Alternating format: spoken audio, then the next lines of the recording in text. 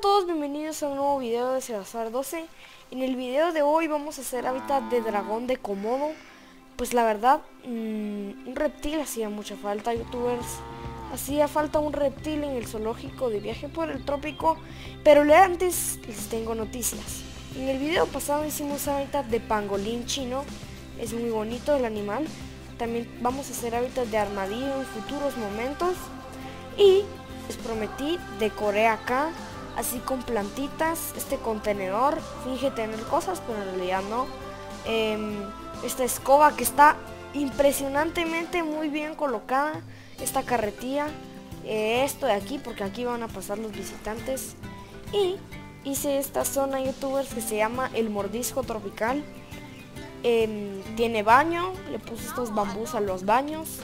Aquí creo que se pueden ver los globos. Em, los nuevos globos youtubers. Y espero que les haya gustado. No lo grabé porque prefiero grabar los hábitats. También aquí puse Alba Pishpot y eh, eh, los batidos. Entonces youtubers vamos a hacer hábitat de dragón de como